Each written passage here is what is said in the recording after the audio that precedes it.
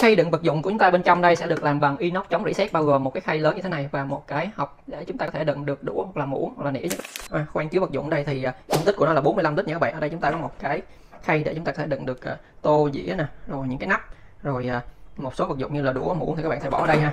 Đó chén thì các bạn bỏ xếp hàng ở đây ha. Thứ nhất là chúng ta sẽ có cái lỗ thoát nước ở đây ha thì nó sẽ thoát ra cái khay này. Thì các bạn lưu ý là khi cái khay này đầy thì các bạn nhớ đem đi đổ đi nha tránh cho nó tràn lan tùm lum. Đây là cái đèn uv nha các bạn đây cái đèn uv còn đây là cái lỗ mà nó thoát khí nóng ra để mà làm à, sấy. Xin chào tất cả mọi người, hôm nay Kinh Hoa Việt Nam sẽ giới thiệu mọi người một cái mẫu máy sấy tiệt trùng của thương hiệu Hawenku với cái mã là USH400. Công suất của máy sẽ là 260W và chúng ta sẽ có bốn chức năng bao gồm tự động, diệt khuẩn, sấy khô và sấy duy trì. Cái trọng lượng của sản phẩm sẽ là 4.6 kg. Máy có chức năng là tự ngắt khi chúng ta mở nắp như thế này và khi chúng ta đóng nắp lại thì máy sẽ tiếp tục hoạt động. Máy sử dụng bảng điều khiển cảm ứng và cái độ ồn trong quá trình hoạt động của máy là tối đa là 32 decibel. Nhiệt độ hoạt động tối đa của sản phẩm lẽ là 75 độ C. Thân máy được làm bằng chất liệu là nhựa và chúng ta ở đây chúng ta sẽ có một cái phần là thép không rỉ. Máy có chức năng diệt khuẩn bằng tia UV. Về kích thước của sản phẩm chúng ta sẽ có một sản phẩm với bề ngang 48 cm, chiều cao là 36 cm và chiều sâu của sản phẩm là rơi vào khoảng 39 cm. Khay đựng vật dụng của chúng ta bên trong đây sẽ được làm bằng inox chống rỉ sét bao gồm một cái khay lớn như thế này và một cái hộc để chúng ta có thể đựng được đũa hoặc là muỗng hoặc là nĩa. Rồi thì đây là tổng quan của cái mẫu máy tiệt trùng đa năng Hawenku USH 400 nha các bạn. Thì ở đây chúng ta sẽ có một cái lớp vỏ ngoài sẽ là bằng nhựa. Đây chúng ta sẽ có lớp màu xanh này các bạn thấy thực chất đây là một cái lớp bảo vệ của cái phần thép không rỉ các bạn ha. Thì các bạn có thể lột cái lớp này đi được ha. Đây chúng ta sẽ có một cái màn hình cảm ứng nè tại vì mình có đang cắm điện rồi đó thì các bạn thấy. Thì tí mình sẽ đi sâu vô cái màn hình cảm ứng và những chức năng trên bạn điều khiển này sau ha. Thì khi mở nắp ra bên trong á, thì chúng ta sẽ có một cái khoang. Ha, khoang chứa vật dụng đây thì uh, dung tích của nó là 45 lít nha các bạn. Ở đây chúng ta có một cái khay để chúng ta có thể đựng được uh, tô dĩa nè rồi những cái nắp rồi uh, một số vật dụng như là đũa muỗng thì các bạn sẽ bỏ ở đây ha. Đó chén thì các bạn bỏ xếp hàng ở đây ha.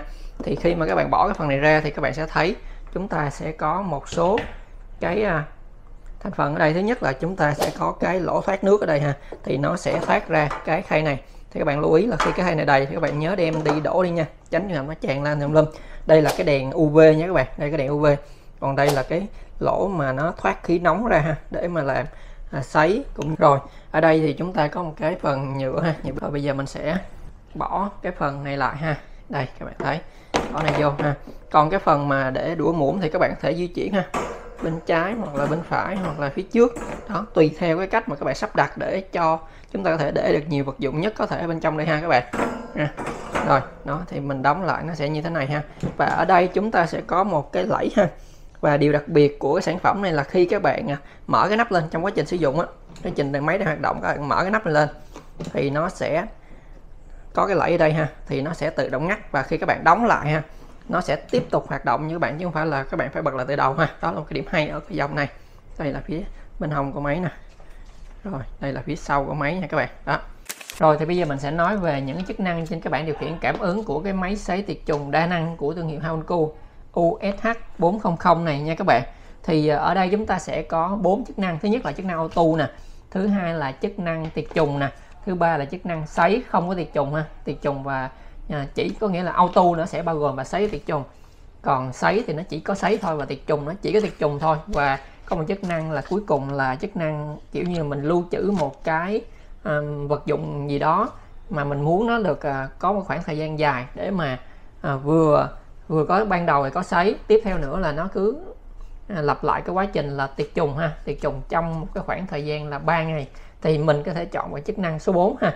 Rồi thì bây giờ mình sẽ mở cái bảng điều khiển cho các bạn xem thì khi các bạn mở bảng điều khiển lên.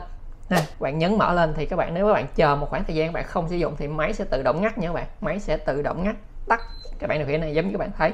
Nó chỉ chừa là duy nhất một cái vòng tròn ngay đây thôi. Thì cái vòng tròn này sẽ là nút nguồn ha để cho các bạn biết đâu là nút nguồn ha. Rồi thì khi các bạn đây nó sẽ có hai nút là một nút là chọn chức năng mà nút chọn thời gian ha. Chức năng thì chúng ta sẽ bốn cái. Đây mình chọn qua lại bốn cái nè. Đó thấy không?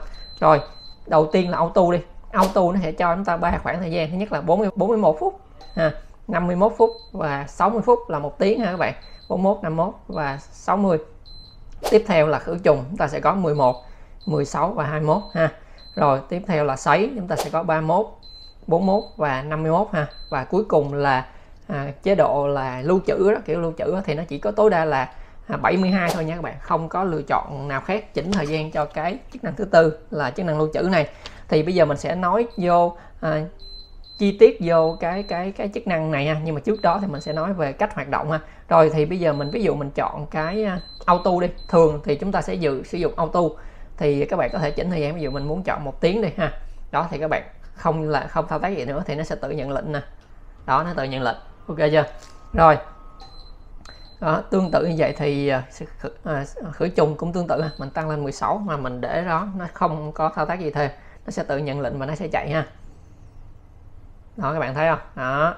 Thì khử trùng thì nó sẽ không có cái quạt gió kia tại vì cái quạt kia là chủ yếu là nó sẽ quạt cái hơi, nó thổi cái hơi nóng ra ha hoặc là nó điều tiết cái hơi nóng bên trong cái lồng này ha. Rồi thì bây giờ mình sẽ cho các bạn xem một cái nữa là khi mà mình mở cái nắp này ra ban đang là 16 để mình cho nó xuống 15 đi. Mình cho nó xuống 15 phút đi. Rồi mình sẽ mở nắp này ra mình đóng nắp lại coi coi là cái máy có nhiều quảng cáo họ quảng cáo nói về cái vấn đề là khi mình mở nắp ra thì máy sẽ tự động ngắt và khi mình đóng nắp lại thì máy sẽ tiếp tục cái quy trình à, hoạt động nó hay không ha. Thì bây giờ các bạn hãy chờ cùng mình đến à, cho nó xuống 15 phút đi rồi chúng ta sẽ mở máy và đóng máy mở nắp máy và đóng nắp máy coi là à, cái việc người ta giới à, giới thiệu về cái vấn đề là tự động ngắt cũng như là khi mà đóng lại thì nó sẽ tiếp tục quy trình có đúng hay không ha rồi thì các bạn thấy hiện tại xuống 15 ha. Bây giờ mình sẽ mở máy máy nè. Đó thì các bạn thấy để ý là cái đồng hồ nó không còn chớp nữa không? Đồng hồ nó không còn chớp nó không hoạt động nữa. Bây giờ mình đóng lại nè. Đó nó chớp và nó tiếp tục hoạt động ha. Thì giống như nhà sản xuất họ đã quảng cáo là khi chúng ta mở nắp lên thì nó sẽ tự động ngắt và khi đóng nắp lại thì máy sẽ tiếp tục cái quy trình hoạt động trước đó ha cho đến khi hoàn tất. Thì bây giờ mình sẽ nói về cái chức năng là à, chức năng lưu trữ này. Mình gọi là chức năng lưu trữ để họ đây họ để là mình mình tên nền kiểu như kiểu như là bảo trì đó nhưng mình nghĩ đây đúng gọi là chức năng lưu trữ thì đúng hơn ha. thì chức năng lưu trữ này nó sẽ như thế nào? Tổng của nó sẽ là 72 tiếng đây mình bạn thấy không? Mình không chỉnh được thời gian ha. 72 tiếng. Thì các bạn có thể coi về cái sơ đồ cái khoảng thời gian à, sơ đồ thời gian của nó ở trang số 23 nó hướng dẫn sử dụng ha. Họ có đưa một cái khoảng sơ đồ ở đây cho chúng ta. Thì mình sẽ nói sơ về cái cái sơ đồ này ha. Ở đây họ cho chúng ta là 72 tiếng ha. Thì nó sẽ chia ra nhiều cái khoảng 2 tiếng chia ra nhiều cái khoảng 2 tiếng ha. Thì cái khoảng 2 tiếng đầu tiên á, nó sẽ hoạt động như thế nào? Khoảng 2 tiếng đầu tiên nó sẽ là quạt gió chạy nè rồi à, làm nóng chạy nè và à, UV sẽ chạy trong vòng 30 phút trong vòng 2 tiếng đó nha. Đó nó sẽ chia ra nhiều khoảng 2 tiếng nhưng mà cái khoảng 2 tiếng đầu tiên á mình sẽ có 30 phút trong khoảng 2 tiếng đầu tiên là để UV nè sấy nè và quạt nó sẽ quạt là quạt đảo nha bạn. Quạt sẽ đảo cái không khí nóng bên trong cái cái lồng này cho nó đều ha. Rồi sau đó nó sẽ ngừng. Ngừng ngừng ha ngừng ngừng thì à, hai 2 tiếng là chúng ta có là 120 phút. Thì chúng ta à, xài 30 phút rồi chúng ta còn 90 phút nữa đúng không? Còn 90 phút nữa thì 90 phút nó ngừng lại. Sau đó nó sẽ tới những cái đoạn 2 tiếng tiếp theo. Thì với những đoạn 2 tiếng tiếp theo nó sẽ có 5 phút đầu tiên. 5 phút đầu tiên của những đoạn 2 tiếng tiếp theo nó sẽ chạy và nó sẽ chạy và nó bật UV và cái quạt đảo lên ha. UV và cái quạt nó lên trong vòng 5 phút. Thì chúng ta có 120 phút những những cái đoạn 120 phút tiếp theo thì chúng ta sẽ có 5 phút đầu tiên nó sẽ có UV và cái quạt nó sẽ chạy. Đó thì sẽ còn lại 115 phút nó sẽ tắt.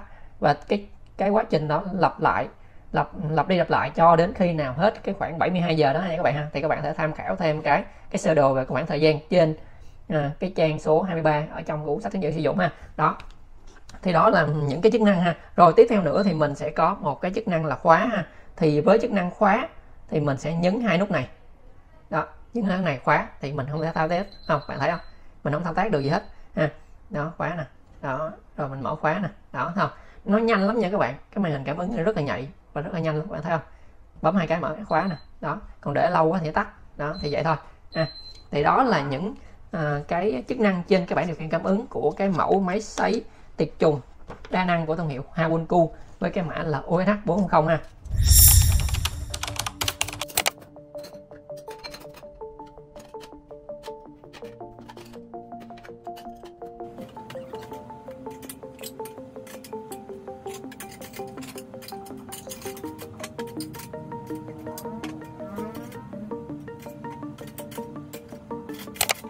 Đó rồi như các bạn đã thấy thì mình vừa làm một cái thao tác là mình mình bỏ một số cái uh, chén đĩa mà mình đang có hiện tại ở showroom để vô cho các bạn hình dung được là uh, cái sản phẩm này nó chứa được những cái chén dĩa rồi tô rồi cái nắp nồi như thế nào đũa muỗng như thế nào ha. Thì ở đây mình sẽ có một thêm một cái hàng mình có thể bỏ được uh, chén vô ha các bạn ha. Nhưng hiện tại ở đây mình không có cái chén nào hết mình không bỏ được. Nhưng mà à, ở đây thì các bạn mình sẽ cho các bạn thấy đây mình sẽ có chỗ để để những cái chén vô ha. Thì đây mình có để được những cái uh, Ờ, dĩa nè, một cái dĩa rất là lớn ở đây nè. Rồi ba cái dĩa ở đây, một cái nắp nắp nhỏ ha, hai cái tô và một cái nắp lớn ha. Cái nắp này nó rơi vào khoảng, mình nghĩ nó rơi vào khoảng từ 25 cho đến 30 cm ha các bạn ha. Còn cái nắp này nó rơi vào 20 thôi. Đó, thì các bạn có thể hình dung được là, nếu các bạn sử dụng nhu cầu gia đình thì các bạn có thể hình dung được là Ừ, cái máy nó sẽ chứa được những cái gì ha? Rồi đũa thì mình cũng thể để được đây gọn đây ha muỗng ở đây thì cái này mình có một cái khay mình có thể dễ dàng di chuyển à, mình muốn đặt ở đâu thì mình có thể đặt ha này nó tháo rời được mà. Đó rồi um, nó sẽ như thế này hứng nước thì nó sẽ có một cái khay bên hông ha khay bên hông này khi mình nước đầy thì các bạn à, chú ý nhớ đem đi đổ đi nha. Đó thì đó là cho các bạn xem được cái cách mà cái máy này có thể chứa được những cái chén tô rồi dĩa rồi nồi hay là nắp như thế nào. Nồi thì mình nghĩ những cái nồi nhỏ mình vẫn có thể để trong đây được ha. Hiện tại đây mình không có nên mình không có thể ví dụ cho bạn được đó. Thì đây là tất cả những gì mà mình có và mình bỏ vô cho các bạn hình dung được là cái máy sấy chén này nó có công dụng và nó có thể chứa được những cái loại à, đồ dùng nào ha. Cảm ơn các bạn đã theo dõi video kinh hoa Việt Nam. Nếu các bạn thấy video này hay hữu ích hãy nhấn like và chia sẻ. Xin cảm ơn.